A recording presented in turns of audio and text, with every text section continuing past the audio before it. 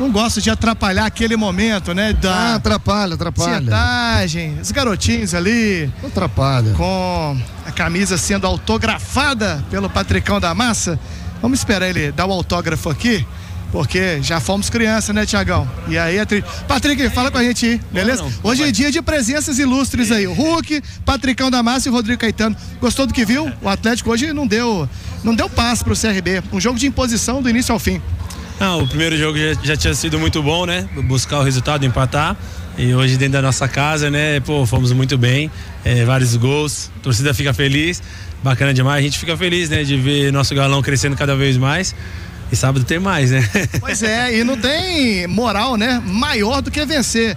Um jogo de classificação e um momento agora totalmente diferente do Cruzeiro, né? Clássico é clássico, a gente sabe, mas o Cruzeiro vem fazendo uma boa campanha, vai ser um jogaço no Mineirão. Não, sábado também, né? Um jogão.